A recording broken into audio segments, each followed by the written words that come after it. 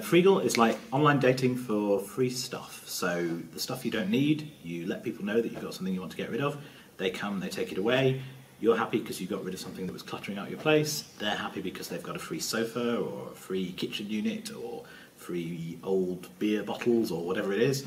Uh, so everybody gets convenience and they save money. To use Freegle, go to our website and tell us where you are. If you have a sofa to give away, take a photo and describe its condition. If you are looking for a sofa, search for it and ask for it. Simple. Check out all the other useful stuff available. Great examples of councils really engaging with Freegle in Brighton and Hove. We've got a council paying somebody to clear an office building they don't use anymore by giving away the items to local community groups and organisations, and those taxpayers paid for that stuff, so it does belong to them really. Uh, in Cumbria, we've got a council who support us and run give and take events where people, members of the public, can come and give things away. In Essex, they run radio ads and Facebook ads for us. But this is quite patchy. What we really need to be doing is doing this all across the UK, consistently with all the councils in the UK, because we save councils money, and every council area should have a thriving, active reuse group, and that's what we're looking for.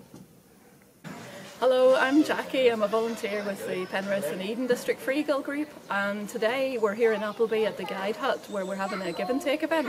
Um, it's an event where you can bring along things that you don't need anymore and you drop them off and people come and just pick up things that they do need. So it's a really good way to save things from going to landfill and instead pass them on to people who can use them, give them a new lease of life.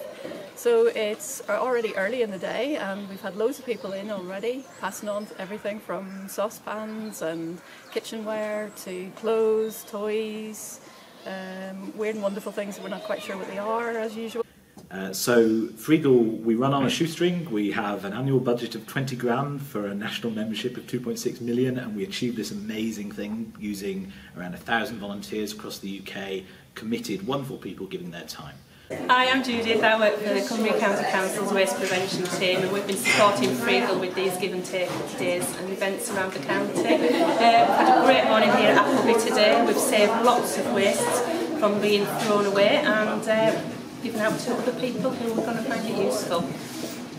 And we think it's a great idea for councils because actually it reduces fly tipping, it makes our communities more resilient, and, and really importantly, it saves council loads of money if people are sharing assets amongst themselves and not um, taking them unnecessarily to the tip or leaving them on the, on the side of the street.